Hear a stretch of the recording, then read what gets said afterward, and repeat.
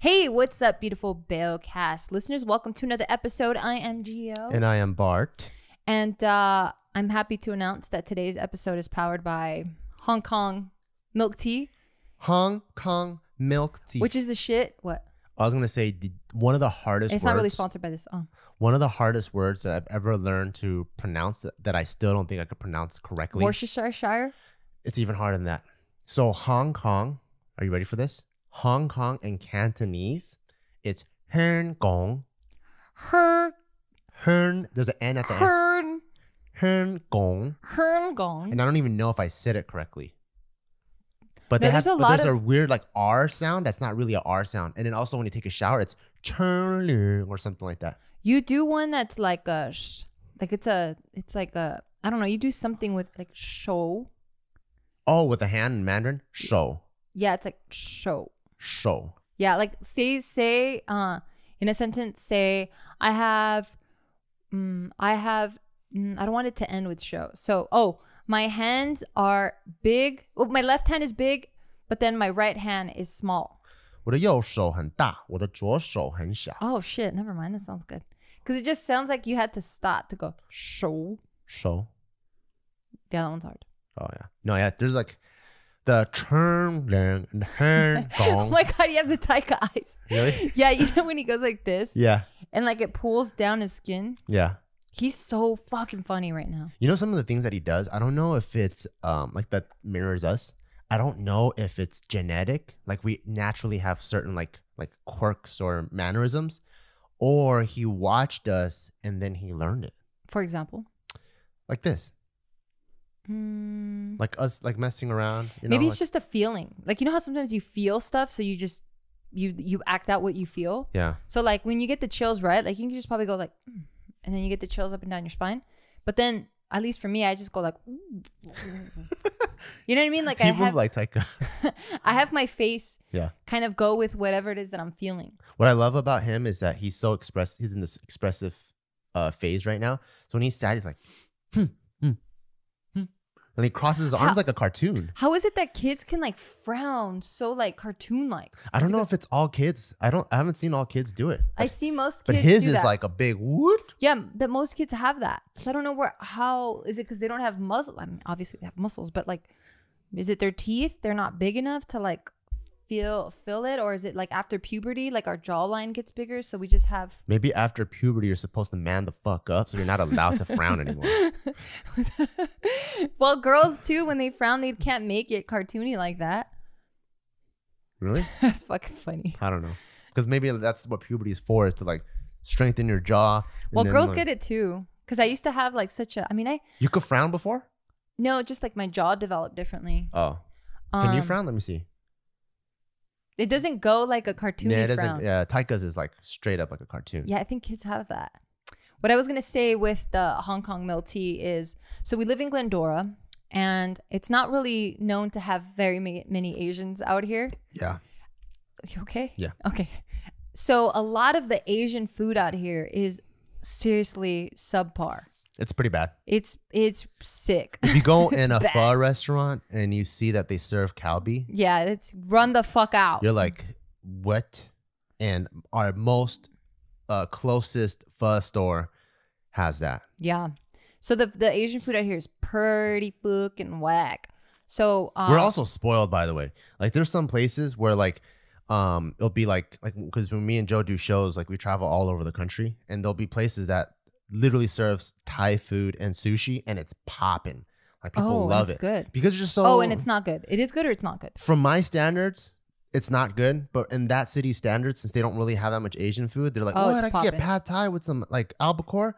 Hell yeah. You know, it's just, but for us in, in LA or in like big cities like New York and stuff, like if it's authentic, they're not going to serve.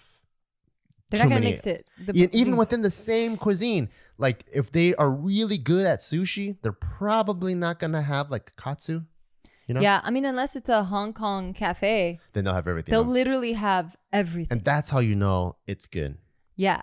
So out here, the food, the Asian food is is shitty. So Papa found this restaurant that is pretty decent, right? It's pretty good for out here. It's pretty good. It And- actually hits the spot. Yeah, it's, it was, or maybe like our standards are so low Could that be. like when we go back to like Monterey Park, Yeah. we're gonna be like, God damn, this is a real shit. But it just made me think about because we are we are thinking about moving out of state. Yep. That it's like, damn, what is what is that gonna be like? Because I like Asian food. Like I love Asian food. I love I just like different types of cuisines, but I want it to taste authentic. Like even out here, the Mexican food ain't that good. Yeah. You know, so with like the whole like California exodus, where I think the hot spots are for sure Idaho, Utah, Idaho, Texas, um, Colorado. Colorado. Um, Idaho's one of them. And I think it's one of them because uh, it's very safe and there's low cost of housing, but the the um what is it called? Like low uh, low income tax. So I think in terms of having like that nice safe suburb that a lot of people want It's there. and it's not jam packed. Like if you ever drive through LA, it's insane. It takes Dude, you should see the houses. Like the houses out here, because we've been looking at properties just out of state, like I was saying. Like our houses are like this. So if I were to open my window, my neighbor opens their window, we can throw shit. I mean, it's not here in this neighborhood, but everywhere else in LA it is. If I were to open my window, they open up theirs, we can throw shit back and forth and never miss our windows. Yeah, the house that I lived in in Monterey Park after college, I would never let my kids ride a bike in the front yard because it's just so freaking busy. You know, there's constantly cars going up and down, they're speeding. So like the suburbs don't feel like a suburb. Like when you watch like the old school 90s movies like Honey I Blew Up the Kids or like Home Alone, you got kids playing Oh, in, a cul-de- Alone. cul- cul-de-sac. Um, it's very rare to find that, but in all these other states, and I think that's what people are looking for, that super suburby feel. So Idaho's one of them. I know Utah's one of them. You get a huge bang for your buck out there. Texas, and also uh, Vegas, and also even Nevada. But I think for me, because I'm like you, like Asian food is so important to me. That's why for, for me, it's either gonna be Texas or Vegas because they're the only places with Bomb Asian food. and variety. Mm. You know, like Houston, it's like a huge uh Houston, Austin, you could find like Ethiopian food, you could find Asian food, Italian food. So like Yeah. that variety Yeah. is important to me. Because I think on the flip side, one thing when I lived in Monterey Park that I didn't like was there was just a ton of Asian, specifically Chinese food. Japanese food wasn't that good. And if you wanted to get some pasta, like some good pasta, Oh, yeah, wasn't not there. that not really there, you know? Yeah. Yeah. So then, like, thinking about all that, I was like, dang, what are the other things that I'm going to miss? And then I started thinking Of LA. well, just the areas that I grew up in. Oh, I see. So then I started thinking about just like all the wild things that happened when I used to live like with my parents Yeah. in the hood. And it just, we live by different rules than we do here. You know, like this is more middle, like upper middle class city that we live or like neighborhood that we live in. So, like, just the policies and procedures within the community are so different Think you're gonna miss the bullet holes and stuff? from the hood. Yeah. No, and not stuff like that. What about the art that comes out of spray cans? Are you gonna miss those? I mean, there's something about it, you know, like there's a whole story behind it, you know? So like even that, like it's just interesting to to wake up and smell the fresh, you know, spray paint on your garage yeah. door. I know. That's so sad. I feel so bad for, your- for It's fucked up. Yeah, it's it's pretty People just straight tag up your house all the time. Yeah, I mean, because there's just like gang wars, right? Yeah. So it's like all you want to do is just tell them like this is my hood, and then they scratch you out like nah, fucking 187, this is my hood. But it sucks that they use your guys' garage as the billboard.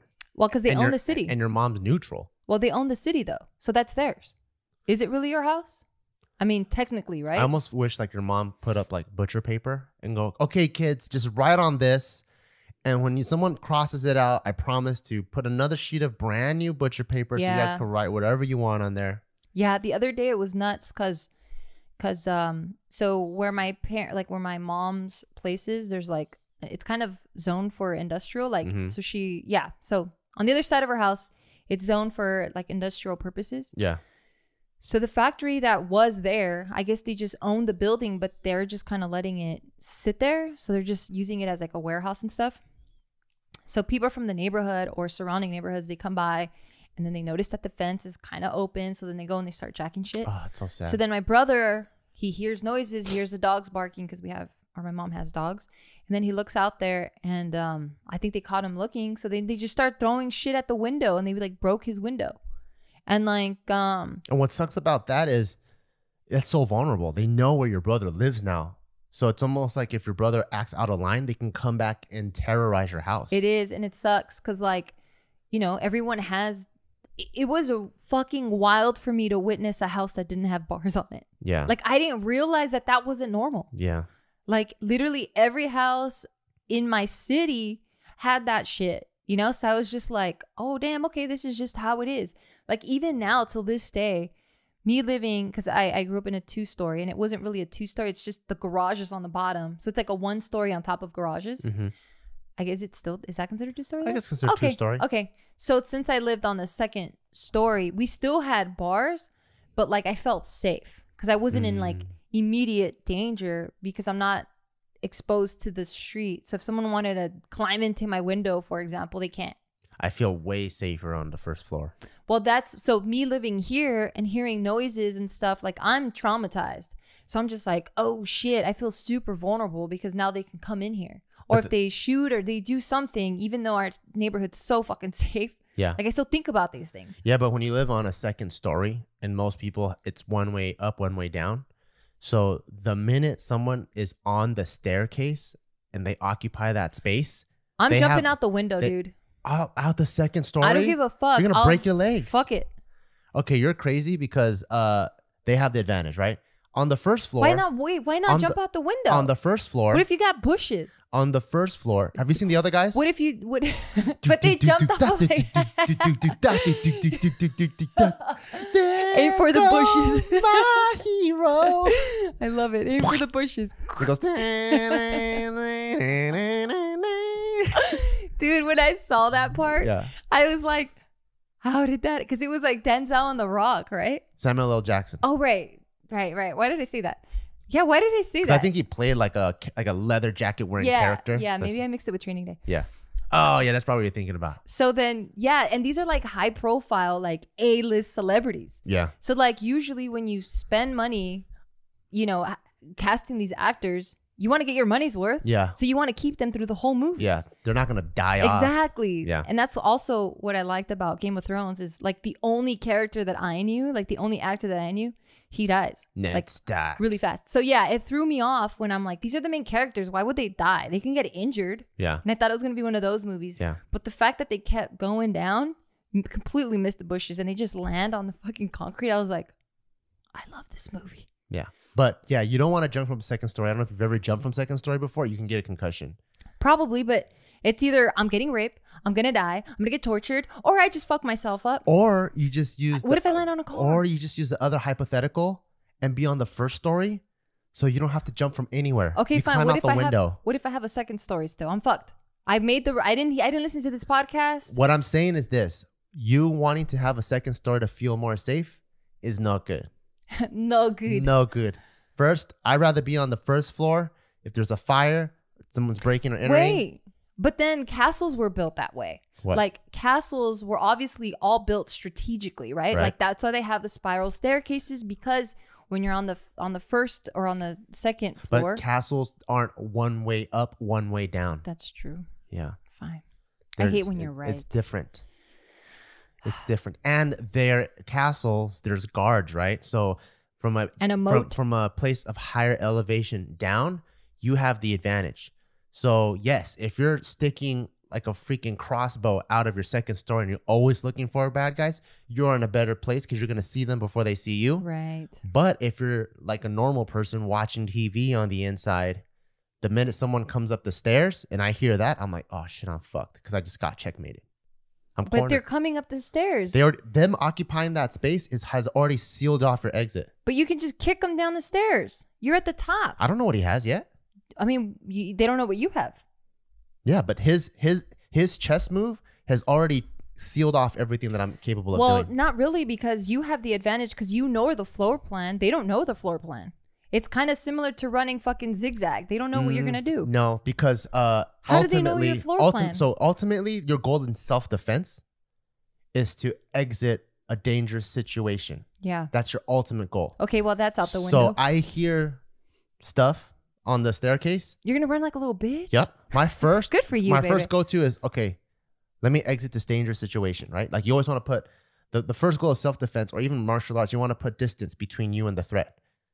This guy, but now this range is controlled by the offender. He's controlling the range. Hmm. You know what I mean? It's almost like your back's against the ropes. The p- person punching you gets to choose What if, I go back or forward, and you don't have anywhere to go. What if you? I was gonna say something dumb, but what if you have like smoke bombs, and now you've obstructed their vision? It doesn't matter because they know you still have to come down the stairs. They can siege your ass. Well, you see, that's why I'm jumping out like the fucking if window. I was a bad guy, right? In terms of positions, I'm on the staircase, right? Then uh and I see you come out about to throw a couch at me. I'm like, and you're gonna just keep throwing shit down the stairs. I'm like, okay. I go down the stairs, let you throw all the shit, you empty everything out, but I still seal the bottom. I seal your only entrance way. I kind of want to act this out. So position wise, I own you, and I can I can outlast you. I'm I'm gonna keep eating food. I'll keep postmating food. I'm just waiting down there. You're gonna run out of food inside of your house. You know what I mean? Like I can outlast outlast you completely. I kind of want to act this out. I kind of want to see. I kind of want to see if I. uh You could jump out the window and not and not have broken Well, I'll legs. try not to jump out the window. I'll try to like. I don't know. You're gonna end up coming out. God damn it. All right. Well, you know what? I don't know. gonna- Any war tacticians out there, go ahead and comment and and maybe there's another way that plays out. But from my understanding, They're called war tacticians. I don't know, Oh, I'm like that sounds tight as fuck. A war strategist. It's like, what do you do for a living? Oh, I'm a war tactician. aka like a general. Sick. Well, a general's pretty tight too, but war tactician. You know they got war schools in the military. I didn't know that, but I feel like you're going to tell me about it. But before you do that, let me pause real quick. All right, you guys, what are we having for dinner tonight? That's the age old question. And honestly, it's so stressful because it's like you've spent all day working and you spent all day putting out fires, talking to different people, finishing the project, meeting your deadlines. Finally, work is over. But now it starts all over again because it's like, I'm hungry. Your kids are hungry. You're hungry. What are you going to make? Well, our next sponsor has got you covered. That's HelloFresh. And you know how much I love HelloFresh. But if you're new here and you don't know about HelloFresh, don't worry about it because HelloFresh is going to get you fresh, pre measured ingredients and mouth watering seasonal recipes delivered right to your door. Come on now. Like, that is so dope. It's America's number one meal kit. HelloFresh lets you skip those trips to the grocery store. It makes home cooking easy and fun. And may I mention, very affordable. I absolutely love it because I've said this time and time and time again, and I will never stop saying it. I didn't really like cooking just because I was intimidated by it. but hello and behold, enters HelloFresh into my life. They come with the pre measured ingredients and these amazing, amazing mouth-watering recipes. And it tells you step by step how to prepare these uh, these uh, recipes. And little by little, I started getting more and more comfortable being in the kitchen and trying different ingredients, making different dishes. And now I just I'm addicted. I love it. It's it's so much fun. I get my son involved. My husband does it. Sometimes we add our own little twist to it, but the best part is all the ingredients get shipped to your front door. And don't worry, if you're going to be out of town, you can schedule and you can skip a week. It's so affordable. It's so easy to use. I absolutely love it. So save time, save money, and absolutely save the stress, you guys. And for everyone listening right now, we have you covered. Make sure to go to HelloFresh.com slash 80bell and use code 80bell to get a total of $80 off your first month, including free shipping on your first box. Additional restrictions apply. So make sure to please visit HelloFresh.com for more details. Again, go to HelloFresh.com slash 80bell and use code 80bell to get a total of $80 off your first month, including free shipping. And Yeah. we're back. Yeah, they have. Uh, they actually so they have like military universities and academies, and a lot of like the higher rank officers have to go to them to learn war strategy, and you can get like a master's in war. It's pretty cool. That is pretty cool. Pretty cool stuff. Yeah, I like this quote. I don't know if it's really going to fit with everything we're talking about, but- you just made me think about it. It's uh all wars have been or most wars are win are won in the tent. Like strategizing. So it's like you can go out Are there you sure that's the quote? some I mean something to the effect. something to that I'm effect. pretty sure the quote is something like, "Most wars are won before they're fought." no, no, no, that's not it. I don't know if it's that specific to a tent. Like I'm just saying. Most wars are won. I'm gonna fuck you up. in a tent. yeah, that's what it says. Wars Wars are won in the general's tent. Suck a dick. okay, general's Bart. tent. That sounds more Oh, epic. you fucking asshole! So you're gonna Most be. wars are won in a vest. Wear a vest. I fucking hate you. Okay, a general's tent. I'm just saying, like practice. Yeah. You practice. You strategize before you go out there, and you don't know what the fuck you're doing. That you're reminds such me a of fucking that, Asperger's. That, that reminds me of a quote that I really like.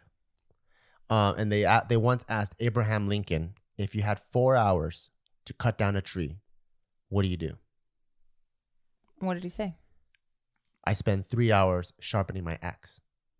That's just stupid. That's dope. I'm just kidding. It's the success of your execution. Most of it is in the planning, and that's why Same like, thing. Yeah, and that's why like you know when you're like all these fighters and stuff, they train for like I don't know 12, 14 week And it's intentional training Yeah, too. It's for- not just like for like five minutes of action. I know. It's not like going with the motions. I was listening to Joe Rogan talk about it, and he was saying like, Who's Joe um, Rogan? You know my buddy Joe. Oh, okay, cool. I've heard of him. Okay, cool. So he was just talking about like how he was able to advance to becoming a blue belt so quickly. Uh, one, obviously, he was saying like, you know, you you start going up the ranks higher when you can start teaching other people because you're just constantly practicing it and you're also dissecting it to so that other people so it's more palatable for other people. But in you having to do that, you have to know it really, really Made well. it more So- digestible. yeah, but then he said what really excelled his progress was the fact that um when what's what are the, like the drills because Yeah. drills you're doing it by yourself right Yeah. so you have to like you know like i don't un- i don't know the actual technical terms for things but Yeah. drilling basically when you're doing it by yourself he said he would really try to picture his opponent and he was really trying to do it and he goes that's the part that everyone hates that's the mundane shit It's that's boring the and stuff repetitive. Exactly. He's like, that's the stuff that no one, that people just go through the motions because they're told they have to do it, but it's boring. It's too repetitive. It's mundane. Nobody wants to do it. But he was like, that right there is what got me a hundred. Like, it just, I got exponentially better because it was intentional and I was focused. And every time I did something, I imagined my, like, me actually doing it with an opponent. That's what I'm going through right now. Like I'm taking jujitsu twice a week.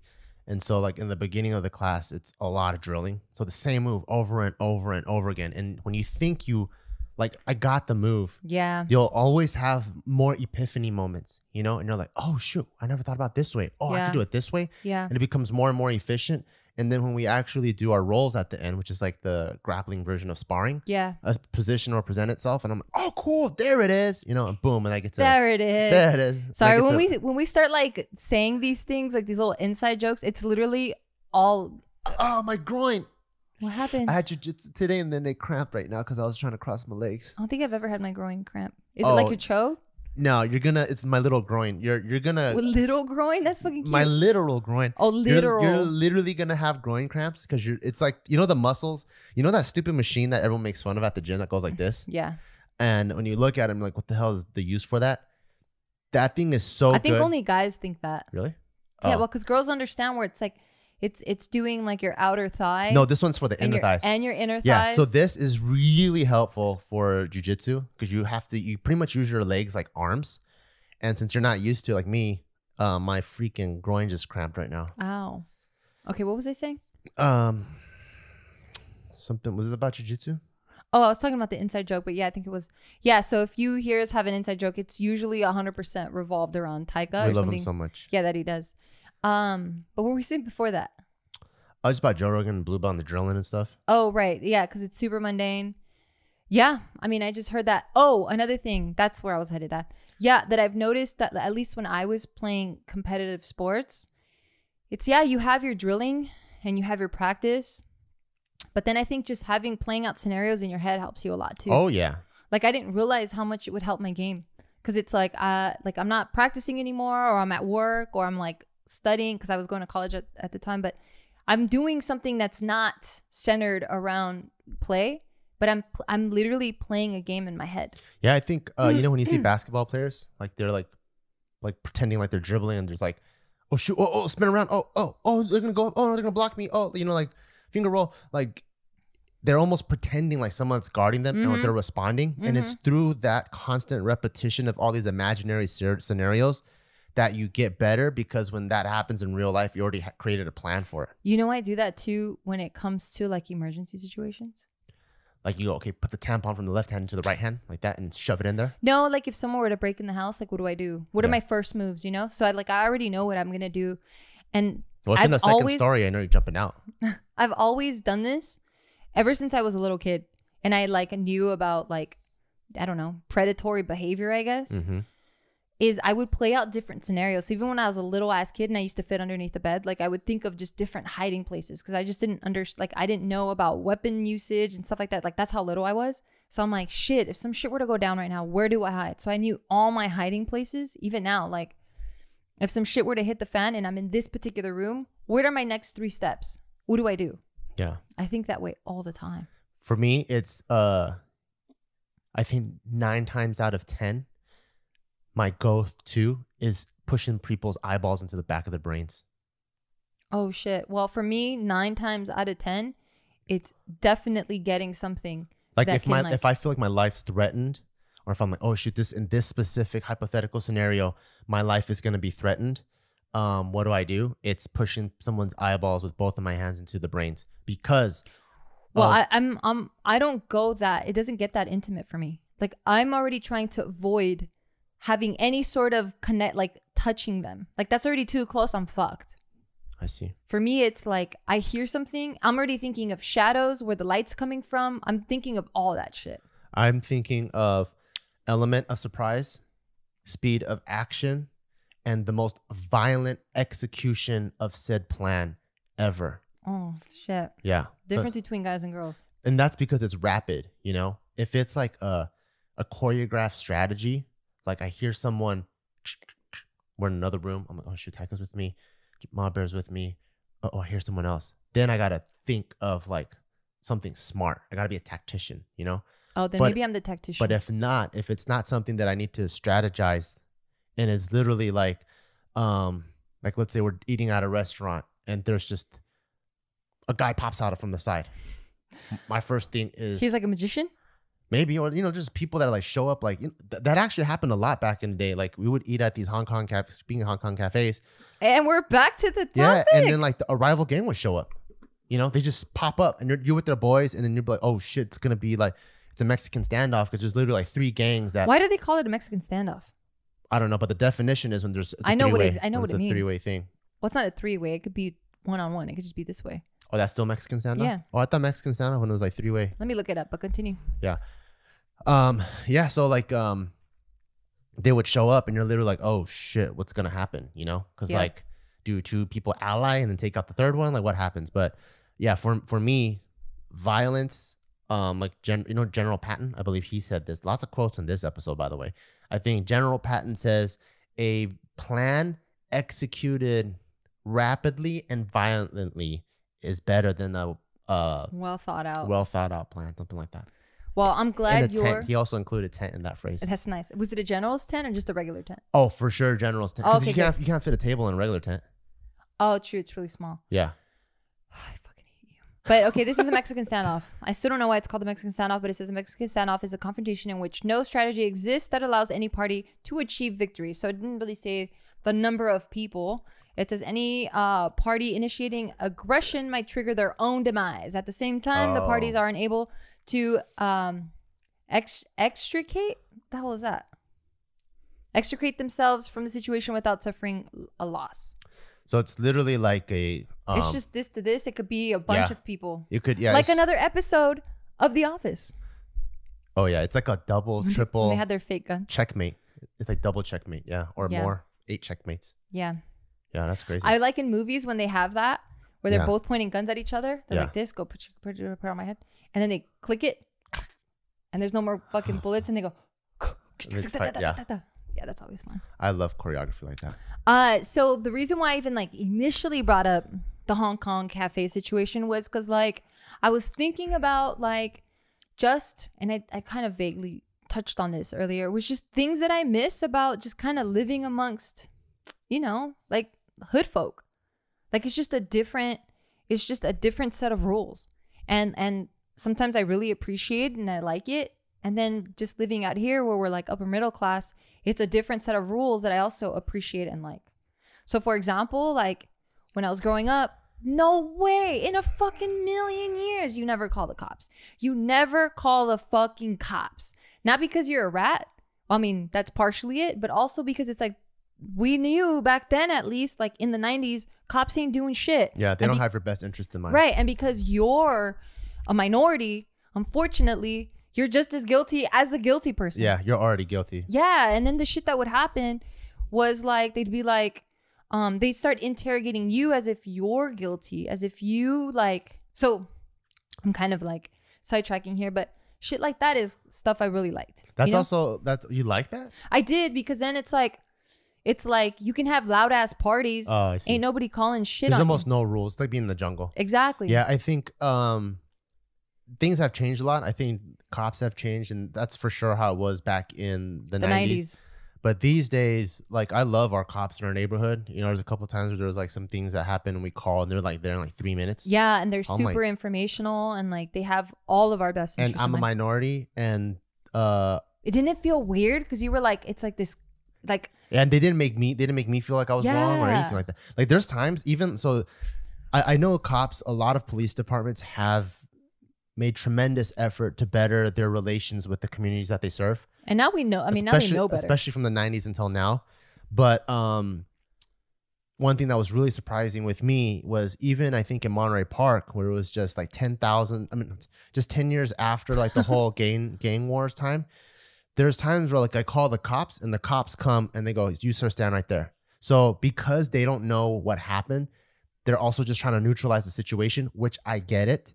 Um, and so that there is a part of you that go, wait, I'm the one that called. Like, why are you treating me like this? But I get they just need to be in control of the situation before anything else happens. yeah, But what was really cool is when the last time we called the cops here, when we had that one fire on the side, that guy came. He didn't make me go, hey, show me your hands real quick. I was just carrying a shovel because I didn't know what was going on over there. So I thought I had to put like put the fire out, but it could be considered a weapon, especially at night. And he didn't go, show me your hands or anything like well, that. Well, yeah, this area isn't also known for having like, you know, for being like that. but I'm like also hostile. but I'm like also that. a minority, so I'm used to that. You know, I'm used to people seeing me and immediately like feeling a certain way. But you're, but Asian branding has also changed a lot. Asian, but also Asian with tattoos in the 626 Oh. don't it, they don't really necessarily get treated the best too. You know, so But that's, but the 626 is such a small pocket. but we are in the 626 right now. Is this the 626? Yeah. Oh shit. So that's right. why I was just very I didn't know that. I was just very very surprised and it felt good that I'm like, "Oh, so this is the benefit of tax dollars." yeah. You know, I've been paying tax my whole life. Now I actually feel Dude, I call the cops all the fucking uh, time. Now I feel protected, you know? I love it. Like, so we'll have like transients and shit come here, and they usually are on drugs. So like, if if a homeless person wants to come by and like seek some sort of shelter to just rest a little bit, I don't really care if they're not like messing Trying with to the set a neighborhood. fire. yeah, but then the ones that do come here, they're belligerent or they're like, yeah. What was that one time? Like, fuck what? He was yelling some crazy shit. Oh, the, was it the guy that went out to go talk to? Yeah, yeah, yeah. He was yelling. Oh, he said, uh, fuck the FBI. Oh, right. He kept saying, fuck the FBI and stuff. And we're like, what the hell? And now I'm calling the cops all the time. No shame. I'm just like, hey, there's a suspicious car. And like within three minutes, they check it out and they're like, nah, it's cool. well, what do you like though? You like living in the hood where it's no rules and you can have It's crazy different. parties, or do you like it where it's like That's all my point. like it's this? different, right? Because also in the hood, you have all like the street vendors come by. Like, when did we had a fucking paletero or the fucking elote man come out here? Does the ice cream man even come around here? No, I hear it. Well, we can go to ice cream store. I mean, it ain't the same though. I, I want the fucking Sonic the Hedgehog fucking face with that has the gum eyes that's like all crooked because it was obviously melted and then it froze again. Like I miss that shit. You know, I love that you can get ice cream, but you can also buy lottery tickets and you can get some fruit all at the same spot. Why don't we just go to your mom's house and we can? I'm not looking for solutions. I'm just saying Oh, what I miss. I see. That's all. I'm just saying like it just has its pros and cons, you know? Yeah, I don't miss any of that at all. Really? Like your neighbors? Oh, I mean, I, did you grow up like that? Um, I didn't, but my dad's neighborhood is kind of like that. The the most that I can relate to, and I don't miss random dogs chasing me when I'm jogging. I don't miss like 4 a.m. people bumping music, but, then you can also bump music. But I don't want to because I like sleeping. So I don't miss the 4 a.m. music bumping. I don't miss um coming Did a out. lot of fights go down for you? Uh, not not not in the city. No, I haven't more at school and Uh. stuff. But I didn't. I don't miss. Um, Okay, my shit was way more. I don't. Yeah, I don't miss my car always being opened up and things getting taken out of it, burglarized constantly. Dude, it's I been- don't miss that. I remember one time I was like maybe eight or nine, and like I was playing outside. You know my mom's front house. So before it became concrete and people started parking the car there, not on the grass. It, we did have grass, and then she has like that wall of trees. yeah. So I remember just playing out there and stuff. And like, I guess I went inside to get a toy or something. I come back outside and the cops are kind of everywhere. And I'm just like completely oblivious. I was just like, oh shit, cops, that's crazy. And then I'm just still playing. And out of those bushes within my yard, a fucking guy runs out and he's just running away from the cops. See, I don't He was that. hiding out in our yard. I don't miss that. Uh, that's that's one thing uh, in El Monte. Almost like every every week, every month, uh, I'm like on. I'm like up watching TV or something, and you know when the helicopter goes. Oh, yeah. That's a nightly occurrence. there's a The ghetto fugitive. bird. Yeah, there's there's a fugitive walking to Stay in stay houses, inside, yeah. and there's fucking lights going all over the place. This guy's armed and dangerous. I don't miss constant interruptions of like I really love how quiet it is. It's just That's chill. I can predict. I Taika can go outside, and I'm not scared he's gonna get run over or bit by a dog or You know what else I miss? I miss uh, my neighbors not doing jack shit because they're all on welfare. yeah. So everyone just kicked it and just shot the shit. Like everyone's kicking it by the Did you fence talk to them? in front of their projects. Yeah. Oh, Like you our, our next door neighbor, like we all grew up together. Yeah. I mean, they weren't like my tightest homies because my mom just didn't want me hanging out with them. Yeah. But we knew enough about each other, and it was mainly my older sister, my older brother that grew up with them because they went to the same school. But like just them hanging by the fence and stuff, like you just hear like the block chisme, you know, Oh, like so and so did this, and this person over here jacked this person, and this fool has like baby drama, baby mama drama, and like you just know everything that's happening in the hood, Yeah. like in that, like in your neighborhood. Did I know people like that? Nope.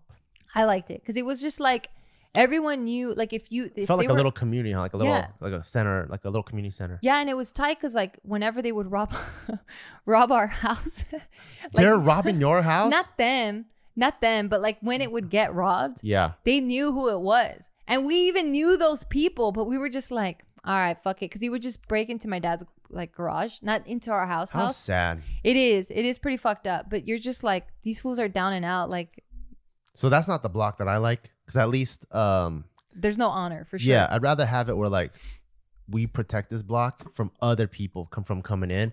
So Nah, everyone it's, here, it's dog eat dog. yeah, everyone here, we we got it covered. You know, Yeah. I'd rather have that.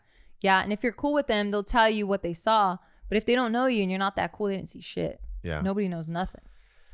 yeah, I don't miss any of that at all. Isn't that crazy? Like a lot of times, like the older I get, the more lifetimes I feel like I've lived. You how know, many how many do you think you've lived? So I think there's the cute Bart. Well, I I don't know if I was ever that cute, but I was like really mischievous Bart. So I was already like a curious troublemaker Bart. And then I went through like a, a gangster Bart phase. And then I went through through like a raver Bart phase. And the raver Bart and gangster Bart, they're like pretty close to each other, kind of. It's just different dress.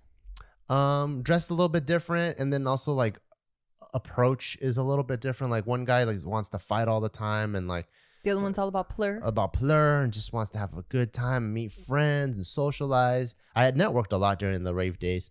And then what does that mean? Networked. I know what networking means, but what does that mean? In like um I just made friends from all over the place. oh, I see. You know, when you go to those raves, there's like people from like three hours away, two hours away, people from the same city. Oh, so you okay? Like me and Joe are from the same city, and I'm surprised we never even met each other. You We- probably did, but you guys were both fucked up. I bet. maybe. And then yeah, and then and then Bart became a Marine, and then there's Oh, there's true. and then there's like college boy Bart, which is kind of like Marine Bart a little bit, and then there's like um startup Bart, you know, and then because that's There's way Uncle different. Sam Bart, and Uncle that's a very different guy. Yeah, and there's like startup Bart, and then from startup Bart there's Stand up uh, comedy Bart. yeah, and that, That's a different guy. yeah, and then it became um like business owner Bart, and then you know, and then now there's like dad bar. So it's crazy, like it's just And every- husband bar and husband Bart. You know, there's like all these crazy periods that you think about, and I'm like, man, those are like complete, like like with people that I meet now. Like, there's a lot of people that I meet right now that are like, um, they're like in the military right now. You know, like, hey Bart, oh cool, like you serve, thank you for your service. I'm like, dude, thank you for your service, and then they'll ask me questions about the military. And half the times I feel bad I don't even remember because it's over 10 years ago, you know? But I just look young. But I got out in like 2009. So they asked me questions and I'm like, you know, half the terminology I, I barely remember. I don't remember a lot of stuff. Yeah, it's crazy. I don't know if I've lived that many lives. I think my mind has definitely developed a lot. But I don't know if like cuz you've had a lot of physical changes, right? Like Yeah. whether that's like in the clothes you were wearing. You know, like that changed for you drastically, but I don't think I don't think I have that many lives. So happy to be working with our next sponsor, Felix Gray. They make some of the best blue light filtering glasses on the market because not only do they look dope as hell, they actually work really, really well by filtering out 90% of blue light in most damaging range and eliminates 99% of glare through a proprietary industry leading lens technology only available with the Felix Gray. And if you're like, well, I don't know, uh, blue light doesn't affect me, I never see it. Well, it does affect you. Actually, a lot of popular devices um, are a major source of blue light. So I'm talking about phones, tablets, computers, TV, Kindles, and other devices. And if you've ever felt that your eyes are just like if you get headaches or you have blurry vision, dry eyes, tired eyes, um, you're having trouble sleeping, that's all due to the exposure of blue light at night. And that can also lower your production of melatonin. And melatonin is a hormone that regulates sleep. So right now, it's actually causing more bad than good. But Felix Gray is here to help you. So make sure to go to felixgrayglasses.com slash pick'em for the absolute best quality blue light filtering glasses on the market. That's Felix Gray, F E L I X G R A Y glasses.com slash pick'em, P I C K E M. Shipping and returns are totally free and Felix um are totally free at Felix Gray. So make sure to go to felixgrayglasses.com slash pick'em. P I C K E M. Do you pursue changes? Um, I say yes. I say I do. I try to get myself out of my comfort zone all the time. Mm. Like starting from an early age, you know, like everyone is dependent on their parents. I was like, let me sell shit at school and make my own money. Yeah. Um, they wanted to stay in their neighborhood because it's that's their bubble, that's their friends. I'm like, yo, let me go to a four cities over where I don't even understand the language because I just want to be exposed to different things. Yeah. Like I tried to do things that were That like within K Town period, right? yeah that were within my grasp because my parents were just so um so scared of me just being around bad influences but i did everything i possibly could to like get myself out of it so i i think i pursued change pretty heavily like Yeah. we're leaving the fucking state i think that's major my whole that- family's here Yeah, you know what's crazy when I think about it? I'm like, it sounds crazy, right? Because most people don't just up and leave. mm-hmm. But then I'm like, but our parents did that. You know, like our parents Yeah. were like, I think we can live a better life there. Yeah. So they moved from China and they moved from Mexico. but but that's a little bit different right because they're going from a really bad situation yeah, to a better situation for their future whereas for us we're in a great situation we are. But I think so, that's why i think the, it's crazy the circumstances are different, but the motivation is the same. It's I want a better life. Yes, but I think the circum- circumstances carries way, way more weight. It does, and it's definitely way more. Um, what is it called? Like, like a life or death, you Right. know. But I think, um, the part that makes me feel like it's, it's normalized is that the whole world is constantly a shifting place. You know, people are moving here, moving there. Like, what works better here works better there. What do you mean it's normalized? What's normalized? Us moving to another state. That is Is not, it normalized? Like when you really think about it, I don't think it's it, normalized if people are going, "Whoa, that's crazy." I don't think it's normalized. it's normalized to me Oh, because that's it- different because uh people move all the time and people are always seeking better options like you know like but people changing- don't move all the time. That's jobs why they don't because if you think about it, you buy a, a more or you you apply for a mortgage that's 30 years. those people do That's a the- that's the majority. there's also a lot of people that move all the time there is a lot of people, but I'm saying the majority. yeah They don't move. i guess the i mean it really depends on what you mean by majority because the majority also don't even buy homes too Right. in la I mean, I think you're just now getting nitty gritty. I'm just saying the majority. I think that's why even our own peers think we're crazy because we're not doing things the normal way. It just hmm. seems ridiculous. Maybe that's part like- of the Asperger's kicking in because I look at them and I'm like, you're crazy because you know how much we're gonna save. It is the Asperger's. So I'm like, I know how I'm gonna save. I know how much you're gonna save. Why aren't you moving? yeah, because you're only looking at numbers, Yeah. whereas they're looking at probably numbers, but the emotional toll is way greater. Yeah, Because they're like, I have family here, my roots are here. me like, too. you don't give a fuck. I do. No, you don't. I wish all my family moved to Vegas too. No, you don't. Yeah, But I mean, they are moving to Vegas. But your family too. I wish everyone, all, all my friends too. I wish all my friends moved Oh. to Vegas. Yeah, well, I mean, whatever needs to happen will happen. Yeah, And um, yeah, I, I I really do enjoy change a lot. me too. I really do. I like, I don't know. I just feel like, and I don't want to sound like sappy and shit because I don't, I don't really consciously say this in my mind. You know, I'm only doing it for the sake of this explanation. But life is so short. Like I don't Do sit it there. all. Yeah, I don't sit there and go, Geo, life for sure. Do it. It's more like my motto has always been like, fuck it, let's do it. Yeah, You know, and I think that's my Sakuraka. way. Sakuraka. Yeah, I think that's my way of of subconsciously saying like, hey, life is short. You know, like I know nothing is forever. I think the only thing, not I think, but I know the only thing that's guaranteed in is in this life is that we're gonna die. So everything else is not constant. Everything else doesn't, you know, it's not forever. So why not just try different things? have a good time. Yeah, yeah. So it's like dim sum life a little bit. like I love this place, I love this house, I love everything about this, but I'm like, well, let me set my my my generation, my you know, the following generation up. And then I get new experiences. I get to see what life outside of Cali is going to be like. And I never thought I would ever leave here. Me neither. I always thought California was the best. I still think it's the best. It's just the the taxes Just- aren't the best. Just the time right now is just not the best Yeah, for us, for our particular situation and where we want to be in five, ten years. So you know what's crazy is just like maybe even 30, 40 years ago, Cali wasn't the best. You know, like if you went up and down PCH, where all the homes are at least two, three, four, five million now, they were cheap. They were giving away land. It was almost like like the beach was like like farmland, like Bakersfield. You know, I remember watching that documentary. Uh, I think it was like a surf documentary.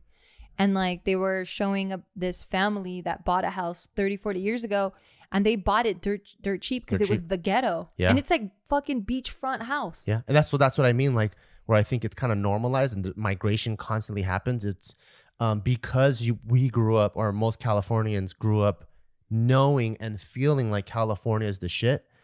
Um, it's hard to grasp the concept that it's this. It's a time for another state to be the shit. Yeah, and it's then really hard because there's so many there with the big California exodus. There are a lot of people leaving California, so I don't know which next state is going to be the shit, but um, it, it rises and falls. You know, like California wasn't always the shit; it became the shit, and then it always changes and fluctuates and stuff. Yeah. Again, nothing's constant. Nothing is forever. But yeah, what made you ask me that question? Which question? If I like change. Oh, just because uh, I realized just talking about the whole lifetimes and stuff, like I realized I really like change and I really like to subject myself to change. So it was almost like, um, it wasn't even like I make it organic. Like I'm very proactive with it. You know, like when I got kicked out of school and I was with my gang stuff, it wasn't like through some gang friends I met some ravers. It was literally like, I want to be a raver now Oh shit. and I just change it. I change my friends. I go to rave stuff, and then like I'm in the middle of college. It's not like I grew up in a military family or anything. It was just like I want to be a marine, yeah. and I just sign up for it and I just go do it. You know, so like it, it's it's never been like oh yeah my god my my family is military, so I'm gonna join the military. It's not a very organic thing. So I I think I like to subject myself to pretty inorganic changes. But it makes me feel good because I think I learn things about myself. Absolutely. yeah, Absolutely. Like how much can you learn if you're in the same pl- like if you're in your bubble? yeah. Like we've seen the products of our environment, right? Like if I stayed in the hood, no offense to anyone living in the hood at all, it just wasn't for me. Yeah. Like I just like I, luckily for me and my situation, my parents put me in a different school district. Mm-hmm. So I was exposed to just a different caliber of person and a different perspective because they weren't lower income p- kids. You know, they were middle class, upper middle class. So just how they viewed pl- problems or how they solved problems or just what their problems were were just completely different. You know, like I'd go to their house and I'm like, oh shit, you don't have bars? It's Mhm. fucking wild. Yeah, You know, so then once I got a taste of that, I'm like, that. I want that. that's cute. So I, I got really fortunate that I was exposed to different things. And that was something that I really tried to teach my parents because out of the four kids, I'm number three. So I have a little sister. And when she was growing up, like my parents, you know, they were busy, they worked full time. So I was really raised by my oldest sister. So I would consider her my mom at this point. Um, they just had to raise us the same exact way. So didn't like they didn't have time to have like the fucking what is it? Like the Bob Saget full house dad that can sit there and it's like, all right, Geo, like what happened at school today? Like we just didn't bond like that. There just wasn't time. So like they raised my sister, they instilled all morals and shit into her. She just passed it down to us. So then when I saw it going to my little sister and how like she was going to be put in a bubble again, I kept telling my my dad specifically cuz you know in our house it was very patriarchal and I was just telling him like, "Hey, you have to let us go to school out of state, not because we want to be promiscuous and have fucking sex orgy parties. It's because I feel like or I know for a fact that she's just going to it's just going to expand her horizon. I actually prefer for Taika to go to school out of state when it's time for him to go to college. I want to think- Bikini. no, I do too. I do Because I, too. think it really like it really like I almost and it makes you self-sufficient. I almost wish that I went to school out of state. Um, but uh, I, I didn't. But I, I I I think it's really cool because you just get to meet like not just people from other walks of life, but you get to live another walk of life. You know, like imagine like if you're if you're if you're used to the big wide suburbs of LA and you go to NYU and now you got to take the subway. You know, and you understand city. you have to life. fend for yourself. Yeah, and it's like a you're you're used to walking and eating, you know, and it's like it's and it's it's normal to eat by yourself. Versus in LA, it's almost like if you're that one person eating by yourself in a restaurant like Joe, like it's so weird, you know. Why you have to- why you Because I love him, I gotta put throw him on the bus. But he had nothing to do with this the he's like- whole he's like- episode.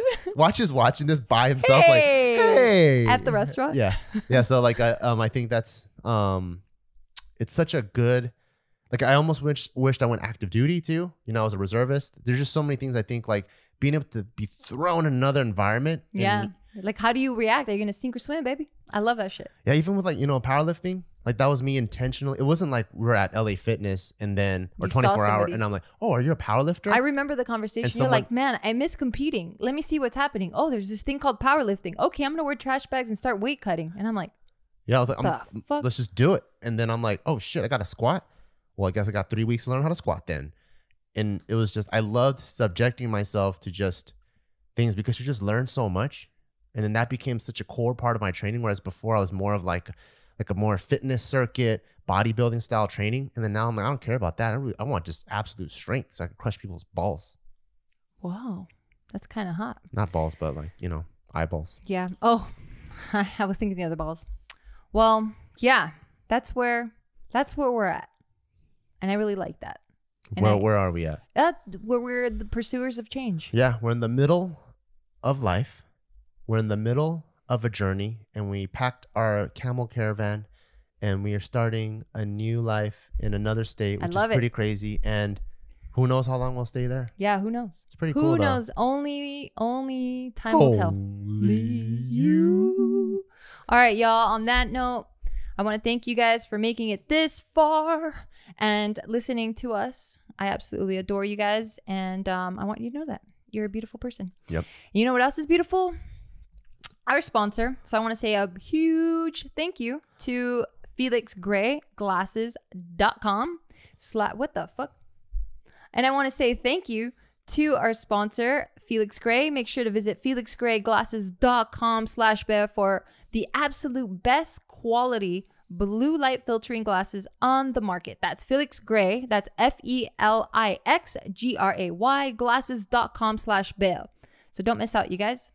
And don't forget to check out barbellbrigade.com. We're about to drop our next collection, the Dominate Humbly collection. That is the motto that a lot of people identify with with the Barbell Brigade brand because we always want to put ourselves through humbling pursuits and dominate them and grow and become a better person. So make sure you check that out. It's dropping very soon in about two weeks. So check that out. Thank you very much. Bye.